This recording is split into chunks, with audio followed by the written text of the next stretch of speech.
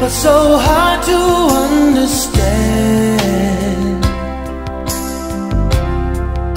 Why you